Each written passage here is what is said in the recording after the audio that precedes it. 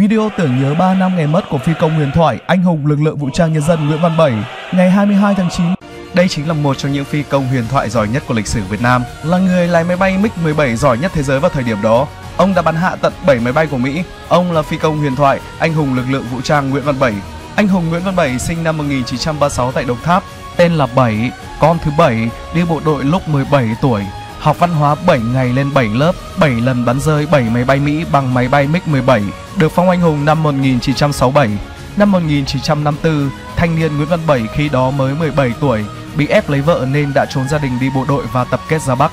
Với dáng cao lớn khỏe mạnh, anh Bảy được chọn đi học lái máy bay. Văn hóa chưa qua trường lớp nào, chỉ biết đọc biết viết, nên lên Lạng Sơn phải học cấp tốc 7 ngày 7 lớp.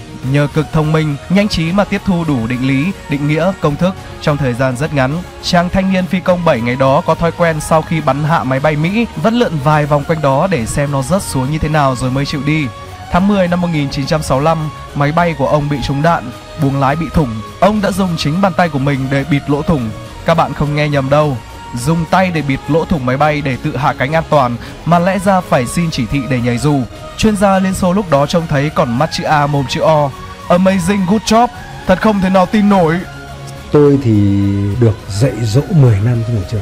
Thì kiến thức của tôi văn hóa đấy dứt khoát là cao báo bảy. Thứ hai là tôi trẻ hơn, thế nên trình độ bay của tôi giỏi báo bảy, khẳng định. Thứ ba là tôi trẻ hơn, tôi khỏe hơn. Thế nhưng kết quả chiến đấu thì bác bảy bắn rơi 7 chiếc tôi zero không bắn thế nào. Để nói lên rằng tất cả kiến thức sức khỏe trình độ bay nó phải thể hiện qua bắn rơi máy bay cơ. Thì bác bảy là vô địch. Và thế hệ phi công như tôi là thế hệ trẻ nhất thì đều công nhận bác bảy là phi công số 1 Việt Nam.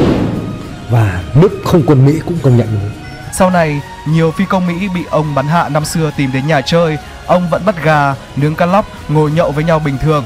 Ông mất năm 2019, thọ 83 tuổi, để lại cho thế hệ sau lòng cảm phục và biết ơn sâu sắc.